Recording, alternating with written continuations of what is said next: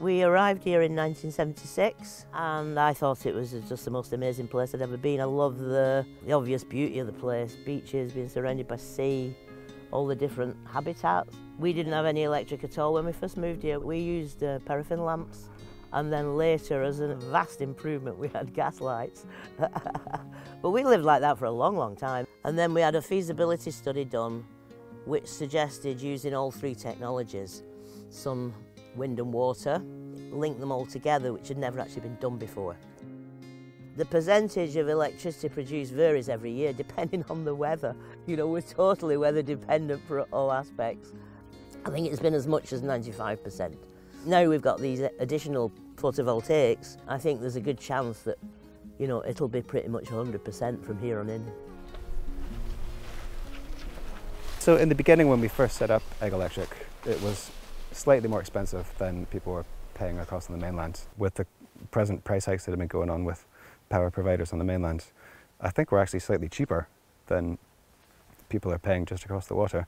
So usually uh, we get most of our power from the hydro, uh, from the hydroelectric generator which is over on the other side of the island.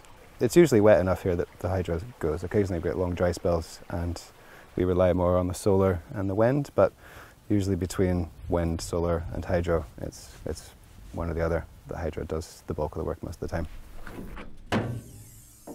If there's an emergency, we have diesel generators that will, that will kick in.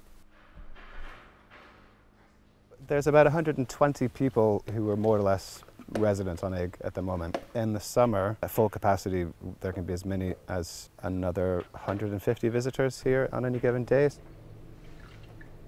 most of the islanders know that they can't use more than five kilowatts in their houses, and that's that's kind of all they need to know. Um, as long as they don't use too much electricity, then, then everything works fine.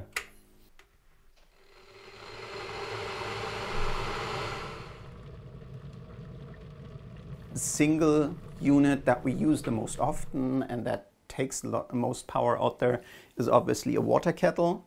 That's the biggest power drain at it, um, the biggest luxury we, we allow ourselves.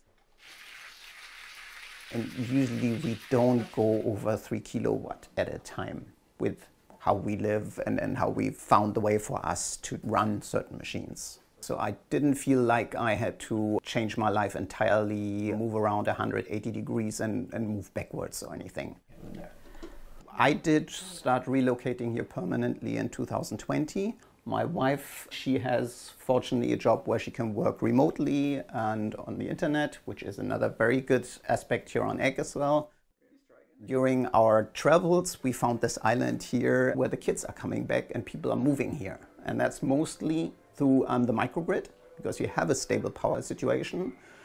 And that did tell us, okay, we should focus our search on something where we like the community, where we like the spirit of the people, where we would um, be able to contribute to a community and not be somebody like in Guangzhou where we lived for 10 years where you don't know your neighbors, you're in a skyscraper of 100 stories and you don't know anybody.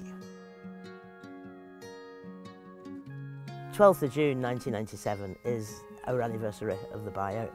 24 years later, the, the number of visitors has, has probably trebled since then. Uh, number of residents has nearly doubled. You know, owning the island has made a huge difference to everybody here, I think. You know, people have got a, an immense pride in what's been achieved here from our own renewable supply and also all the other things that have happened here. I would love to see more uh, renewable energy worldwide. I mean, I think it's possible. The sun shines, the wind blows. The sea is particularly interesting. I think tidal wave power, there's a, a lot of potential there that's not really been explored enough. But yeah, I don't see any reason why not, on a far bigger scale than what Eigg's doing.